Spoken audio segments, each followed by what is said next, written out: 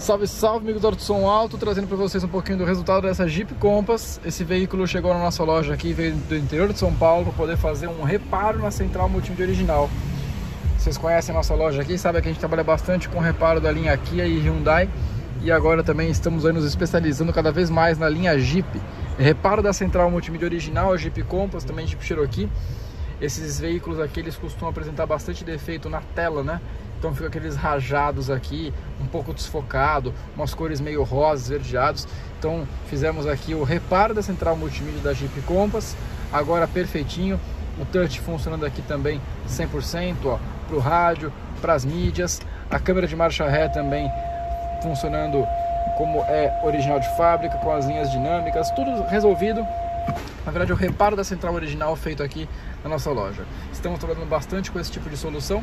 Quem tiver algum problema aí na Jeep Compass pode nos procurar. Nosso telefone fixo, nosso WhatsApp, nossa página no Instagram. Agradecemos todos vocês que nos seguem nas redes sociais aí. Mais uma Jeep Compass, agora com a tela 100% funcional, resolvido e sem aquelas imagens aí distorcidas que é um defeito comum nesse carro.